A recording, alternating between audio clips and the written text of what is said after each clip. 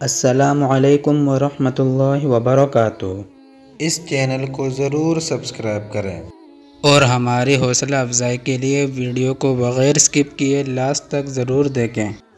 بھیگی ہوئی انجیر میں صحت کے چپے رات۔ بھیگی ہوئی انجیر کا استعمال کیا آپ کرتے ہیں؟ اگر نہیں کرتے تو آپ آج ہی سے اس کے بارے میں سوچنا شروع کر دیں۔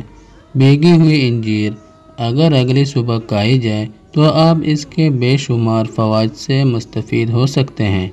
یہ ایک خشک پل ہے۔ اس کا تعلق شہتوت کے خاندان سے ہے۔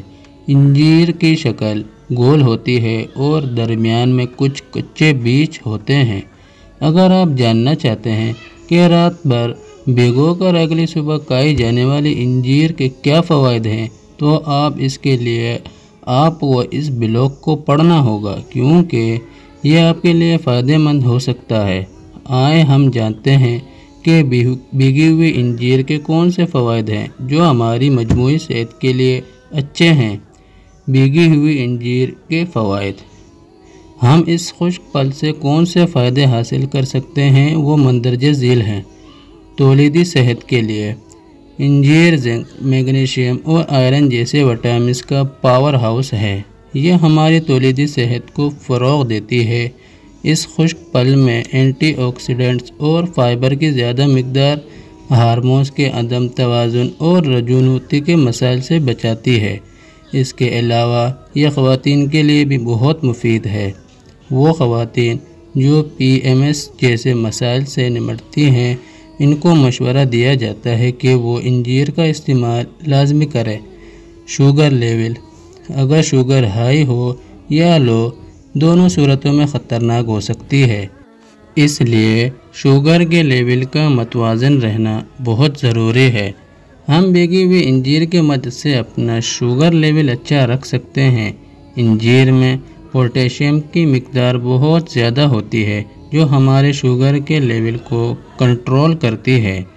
متعدد مطالعات سے یہ بات سامنے آئی ہے کہ انجیر میں موجود کلوریجنگ ایسڈ خون میں شوگر کی سطح کو کم کرنے میں مددگار ثابت ہوتا ہے۔ بھیگی ہوئی انجیر کھانے کی وجہ سے خون میں ٹائپ ٹو ذیابیطس کے گلوکوز کو کنٹرول کیا جا سکتا ہے۔ اس سے خشک پل کو سلاد میں شامل کر کے بھی کھا سکتے ہیں۔ قبض انجیر میں اچھی مقدار میں فائبر موجود ہوتا ہے، جو ہمارے آنتوں کی باقاعدہ حرکت کو برقرار رکھنے میں ہماری مدد کرتا ہے۔ جن لوگوں کو قبض کا سامنا رہتا ہے، ان کو اس کا استعمال لازمی کرنا چاہیے، کیونکہ قبض بہت سی بیماریوں کی وجہ بھی بن سکتی ہے۔ اس کے بعد ہے وزن کم کرنا۔ اضافی وزن بہت سے لوگوں کی پریشانی ہے، کیونکہ موٹاپا ایک ایسی بیماری ہے جو بہت سی بیماریوں کو دعوت دے سکتا ہے۔ اگر آپ وزن کم کرنے والی غذا پر عمل کر رہے ہیں، تو آپ کو اپنی ڈائٹ پلان میں بھی انجیر کا استعمال لازمی کرنا چاہیے۔ فائبر سے بھرپور غذائیں وزن کم کرنے کے لیے مفید ہیں۔ انجیر کا استعمال اعتدال کے ساتھ کرنا چاہیے، کیونکہ اس میں کیلوریز بھی ہوتی ہے۔ اس کی زیادتی وزن زیادہ کرنے کا باعث بھی بن سکتی ہے۔ اس کے بعد ہے دل کی صحت۔ دنیا میں بہت سے لوگوں کی اموات دل کی بیماریوں کی وجہ سے بھی ہوتی ہیں۔ اس لیے صحت مند زندگی گزارنے کے لیے دل کی صحت کا خیال رکھنا بہت ضروری ہے۔ بھیگی ہوئی انجیر کا استعمال آپ کے دل کی صحت کو اچھا کر سکتا ہے۔ اس کے ساتھ ساتھ ہماری مجموعی صحت میں بھی بہتری آتی ہے۔ انجیر میں موجود اینٹی آکسیڈنٹس بلڈ پریشر کی سطح کو کنٹرول کرتے ہوئے جسم میں فری ریڈیکلز کو ختم کرنے میں مدد دیتے ہیں۔ یہ شریانوں کی صحت کو اچھا کرنے میں مدد کرتی ہے۔ کچھ مطالعات سے یہ بات بھی سامنے آئی ہے۔ کہ ٹرائگلز رائڈس کی سطح کو کم کرتی ہے، کیونکہ یہی دل کی بیماری کی بڑی وجہ بن سکتی ہے۔ اس کے بعد، صحت مند ہڈیوں کے لیے بھیگی ہوئی انجیر کا استعمال آپ کو صحت مند ہڈیاں دے سکتا ہے۔ ہمارے جسم میں ہڈیوں کے لیے کیلشیم کا ہونا بہت ضروری ہے۔ ہمارا جسم خود کیلشیم پیدا نہیں کرتا۔